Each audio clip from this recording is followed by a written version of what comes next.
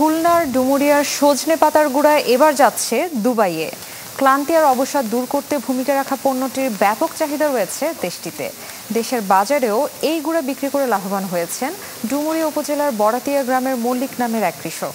তার সাফল্যে সজনে চাষে আগ্রহী হয়ে উঠছেন অনেকেই। গেল জানুয়ারি মাসে নিজের দেড় বিঘা জমিতে চারশোটি সজনে গাছের চারা রোপণ করেন খুলনার ডুমুরিয়া উপজেলার বরাতিয়া গ্রামের কৃষক নবদ্বীপ মল্লিক। প্রায় সাত মাস পর সেই গাছের দেড় মন পাতা শুকিয়ে পান আঠারো কেজি গুঁড়া, যার আট কেজি বিক্রি করেছেন ষোলো হাজার টাকায়। আর অবশিষ্ট গুঁড়া পাঠাবেন দুবাইয়ে, যেখানে বেশ চাহিদা রয়েছে পণ্যটির। পাতাটা ফেলে না দিয়ে এটা কিন্তু এক বিঘা জায়গায় যদি আপনার এই পাতাটা শুকানো হয় তাই এক বিঘা জায়গায় প্রায় আপনার দুইশো কেজি মতন আপনার ইয়ে হবে সজিনা পাতার পাউডার হবে। এটা দুই হাজার টাকা যদি মূল্য হয়, তাহলে কিন্তু অনেক টাকা আসে। হ্যাঁ যেটা কিনা ফলের থেকেও আরও অনেক অনেক গুণ বেশি হবে।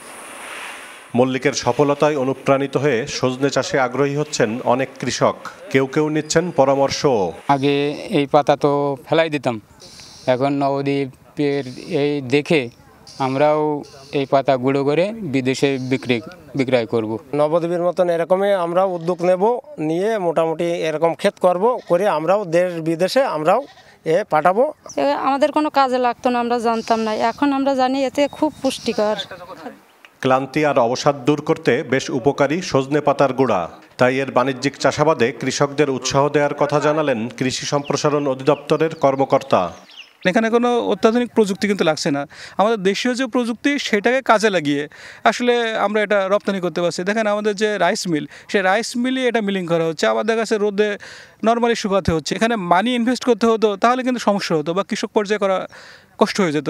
কিন্তু দেখেন দেশীয় প্রযুক্তি ব্যবহার করে এবং হচ্ছে এখানে কোনো ইনভেস্ট না করে আমাদের সচরাচর যে পাতাগুলো নষ্ট হয়ে যেত, সেইগুলো কিন্তু সংরক্ষণ করা হচ্ছে, শুকিয়ে সংরক্ষণ করে সেটা রপ্তানি করা হচ্ছে। শুধু সজনে নয়, বিখ্যাত চুইঝালের আবাদ করেও সাড়া ফেলেছেন Nabadwip Mallik. Mamun Reza, channel twenty four, Khulna.